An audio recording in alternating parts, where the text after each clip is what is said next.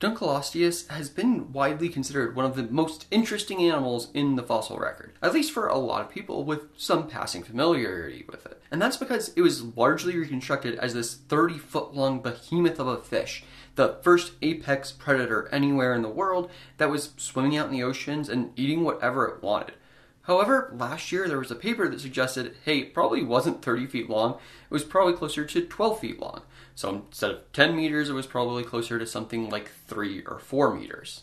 This made some fans of paleontology a little bit upset because, no, it's supposed to be this big monster fish, and I will just say a 12 foot long fish is still a monster fish.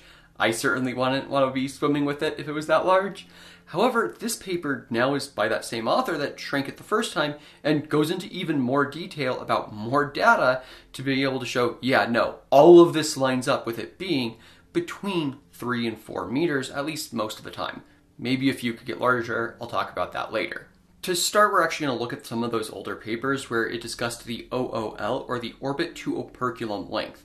This is part of the skull, and that's very well defined in fish. Essentially, everything behind the operculum is no longer the head. That's where the head ends. And there have been some more recent studies in modern mammals that have done similar things, essentially looking at the skulls of different mammals that are similar sizes for example, you can look at certain breeds of cats like Maine Coons and certain types of foxes, and their sizes overlap pretty well. But obviously, their skull shape is very different. But if you measure from the eye to the back of the skull, they're pretty similar for animals of the same size, or at least similar sizes.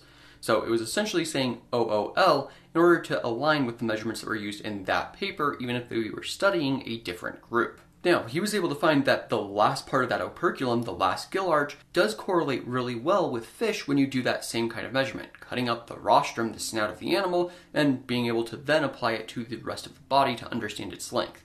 And this is really important because these kinds of fish, like Dunkleosteus, are arthrodires. They're armored fish, and they are very well known for having very short snouts. This is really important because most of these measurements are just comparative. So you use something like a shark, which might have a much longer snout, and you just scale the shark's head up to the same size as Dunkleosteus. And then you go, hey, look, now this shark is 30 feet long. Therefore, Dunkleosteus must have been 30 foot long, despite the fact that they are not built the same really at all. Another reason for this kind of reconstruction in Dunkleosteus is because of some of its relatives that are better known from more fossils, or at least more complete fossils.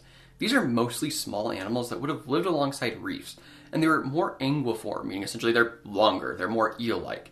And what that means is they were probably in and around reefs moving through shallow water.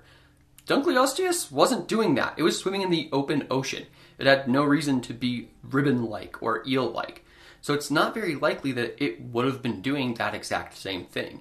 That said, it also evolved to move into the open water separately from other fish, like sharks, so we shouldn't expect exactly the same body plan. Fortunately, though, we do have some pretty decent fossils of Dunkleosteus, and some of its relatives too. So what this means is the researcher, Russell Engelman, was able to look at these bones and compare them to those other fish. And it turns out, yeah, they're basically all the same bones in similar orientations. However, there's some really important things we need to consider as we continue because it was more heavily armored. There was more fusion between these different bone sets, so it wasn't using them in exactly the same way. There's also the general body plan of fish, with their spine basically running down the middle, and that's really important when doing the reconstruction. Because these bones have been fossilized for over 300 million years, they're not all exactly in the right shape, you have to do some retrodeformation in order to understand what shape Dunkleosteus would have had in the fossil record when it was a living animal. Looking at these bones, it would have been particularly deep bodied, not wide bodied. When you think of something like a shark, especially things like a tiger shark, for example, you're going to think of an animal that's more flat than it is tall. That's not the case with Dunkleosteus. It instead would have been deeper bodied and relatively narrow bodied. And that has some people questioning it because there's not anything really built like that today, but if you look at the fossil record, there are some animals that are built a little bit like that. For example, some ichthyosaurs were taller bodied than they were wide bodied. And there will be more on them and those comparisons in a little bit. Right now, though, the reason we can say, yeah, it would have been deep bodied is because of things like the carinal process, a projection of bone inside the skeleton that would have jutted down in towards where the vertebral column would have been. That means that essentially this animal had to be deep so that you wouldn't have to have a spine that goes straight and then dips deeply around that and then goes straight again. that doesn't make a lot of sense. Instead, if it was deep bodied, the spine could just go straight across the body like you would expect. Additionally, these bones have the pectoral fenestra, which is where the pectoral fin would have shown up. And when you look at it, it's actually pretty far forward, and this is very similar to those ichthyosaurs. And even other pelagic fish, meaning that they're essentially going out into the open ocean, do have relatively far forward pectoral fins. So it's something we expect, even if it is a little bit more dramatic in Dunkleosteus. It's also a different body shape than those other fish, though, so it makes sense there would be some changes. If you squashed the skeleton, though, to make it wider like a shark, those pectoral fins wouldn't really be able to actually exist because you would have fundamentally pinched closed that fenestra. There would have been no way for vessels and nerves and even muscle to get out to those fins so it wouldn't be a useful adaptation for allowing these animals to actually succeed. This pectoral fin placement also makes a lot of sense when you're considering the overall length of Dunkleosteus if it is closer to 3 to 4 meters. And that's because, sure, it's a little bit further forward, but it's well within the range that we would expect for most open ocean going fish. There's also normally pretty good consistency on how far back the pelvic fins would be. And if you do that same math based on where we know the pectoral fins would have been in the overall length of the head, Turns out, yeah, it lines up pretty well if Dunkleosteus was actually between 3 and 4 meters. I know I keep harping on that, but it's a lot of evidence that says, yeah, it's smaller than 10 meters, significantly smaller.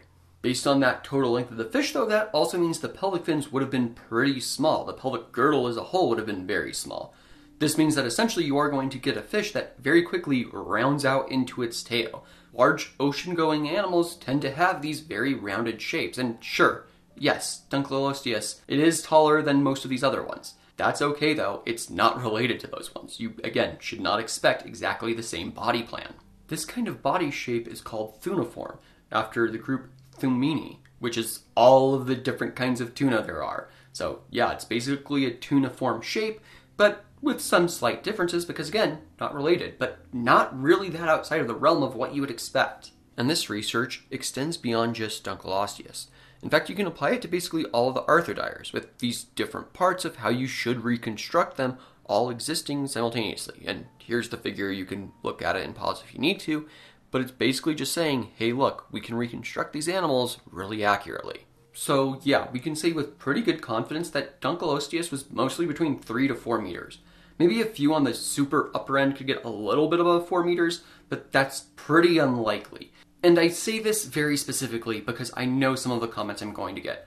They're going to talk about the Mallon and Hone paper and how, hey, we could have actually had Tyrannosaurus rex be much larger than the largest known specimen. And that's because they're doing statistics, and it's a very interesting paper, but it is not necessarily saying everything had a larger version out there. What they're saying is with the Tyrannosaurus rex fossil record, we have essentially a bell curve of growth, or at least maximum sizes for adults. The bell curve, we are very unlikely to find the peak parts of that. It's kind of like finding the fossil of someone the size of Andre the Giant. Almost nobody is his size. It's very unlikely we're going to find him, but if we found human skeletons, if some other species found human skeletons millions of years from now, they're going to go, yeah, maybe they could get up to the size of Andre the Giant, but that is not going to be very common. And the thing with Dunkleosteus is we have much better fossil records for Dunkleosteus with more specimens than we have for Tyrannosaurus rex. And none of them are even approaching that kind of size of being close to 5 or 6 meters, let alone 10. So it's not particularly likely that it was that big.